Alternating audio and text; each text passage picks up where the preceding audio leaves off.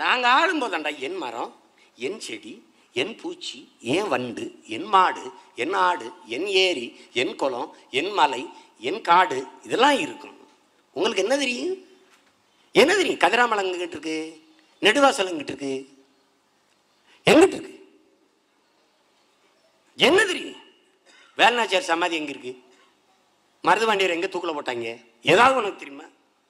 தெற்கும் தெரியாத வடக்கும் தெரியாது திடீர்னு வந்து முதலமைச்சர் ஆகணும்னா வரும்போது ஒரு இன்ஜினியர் ஒரு டாக்டர் ஒரு அமெரிக்க மாப்பிள்ளை அதெல்லாம் கிடையாது. ஸ்டேட் ஹீரோ தான்.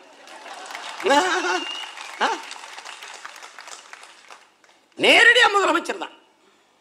ஒரு வார்டு கவுன்சிலர் ஒரு எம்எல்ஏ ஸ்டேட் முதலமைச்சர் தான். நம்மளை முடிவு பண்ணிட்டாங்க ஒரு முட்டாப்பைய கூட்டம்ட்டு. அதெல்லாம் அப்போ. அதெல்லாம் அப்போ. ஏய் எம்ஜிஆர் விட்டுட்டீங்க ஜெயலலிதா விட்டுட்டீங்க ரஜினிகாந்த் மட்டும் எதுக்குறீங்க? தெரியலடா விட்டாங்க. எங்கள் ஆத்தாள பொண்ணுக்கு தெரியல. தெரிஞ்சிருச்சு எதிர்க்கிறான். அவ்வளோதானே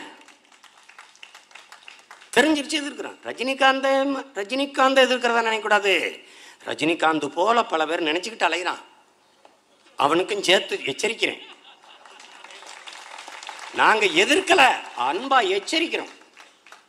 இது விட்டுரு. என் வீடு எந்த குழாயில் கசிவு எந்த எந்த சன்னலில் ஆணி இல்லை எந்த கதவில் தாப்பா இல்லை எந்த மூளையில் ஒட்டடை இருக்குன்னு எனக்கு தெரியும். இது ஏன் நாடு? பல ஆயிரம் ஆண்டுகளாக நாங்கள் தவிச்சுக்கிட்டு இருக்கோம் இந்த அதிகாரத்துக்கு வர்றதுக்கு. இது என் கனவு இல்லை. என் பல ஆண்டுகளாக என் முன்னோர்களின் மூதாதைகள் தூக்கி சுமந்து வந்த கனவு. பெருந்தலைவர் காமராஜருக்கு பிறகு ஒரு தூய தமிழர் இந்த நிலத்தை ஆளலை. திரும்ப திரும்ப திரும்ப திரும்ப அதை பேச்சு கூடாது. என்ன என்ன ஏ, ஏ, என்ன இனவெறியை தூண்டுறீங்க? ஏ, என்ன ஏதோ தூண்டுறீங்க? ஏங்க வாடா.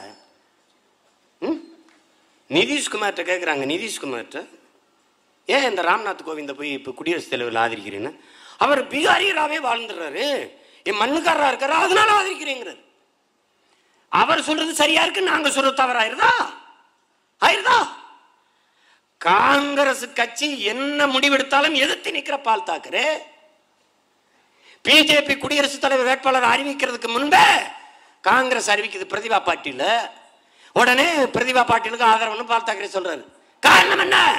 மராட்டிய மகள் அவள் குடியரசுத் தலைவராக தான் ஆதரிக்கிறேங்கிறது அவருக்கு அந்த உணர்வு இருக்கலாம் சீமானுக்கு இருக்கக்கூடாது பஞ்சாப்ல போய் இந்த நாட்டின் முதல் மிகப்பெரிய தலைவர் முதன்மை அமைச்சர் ஐயா நரேந்திர மோடி பஞ்சாபில் அரவிந்த் கெஜ்ரிவால் ஜெயித்திருவார் போல இருக்குது. அரவிந்த் கெஜ்ரிவாலுக்கு எதிராக பேசுறதுக்காக அவர் பேசுறாரு. தேர்தல் பரப்புரையில் என்ன பேசுறார்? பஞ்சாபியனை தவிர எவனையும் உள்ளே விடாதீர்கள் என்று யார் பேசுறா? இந்த நாட்டின் முதன்மை அமைச்சர் பிரதமர் நரேந்திர மோடி. பாரதத்தின் பிரதமர் பேசினா சரியா இருக்கு? பாமரன் சீமான் பேசினா தவறா இருக்கா? என்னது இது? ஆ? அவர் நிதிஷ்குமார் பீகார் தேர்தலில் பீகாரியா பகாரியா அப்படிங்கிற முழக்கத்தை முன்வைக்கிறாரு. அவன் பீகாரின்னு ஓட்டு போட்டுறான். அதை பாருங்க எப்படி ஒரு இதை வச்சாரு பார்த்தீங்களா? கடைசி நேரத்துல பீகாரியா பகாரியான்னு. அதையே நாங்க சொன்னோம். இன வெறி இன சொறி இன சரங்கு. என்னடா? என்னது இது? திரும்ப திரும்ப இப்படியே பேசிக்கிட்டு இருந்தா ஆறாத வன்மை வந்து பழி வாங்கி விட்டுருவோம். நல்லா கவனிச்சுடணும்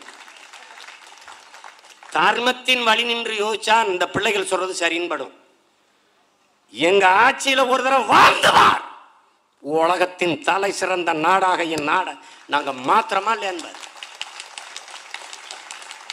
பூமியின் சொர்க்கமாக மாற்றுவேன் எங்கள் ஆத்தாலும் அப்பத்தாலும் அக்கா தங்கச்சியும் குடத்தை தூக்கிட்டு ஓடுறான்டா தண்ணிக்கு. எந்த ஊருக்கு போனாலும் ரெண்டு மாசமா தண்ணி வரல. பதினஞ்சு நாளா குடிக்க தண்ணி இல்லைன்றான். எவ்வளவு அழுகிறது எவ்வளவு வருத்தப்படுறது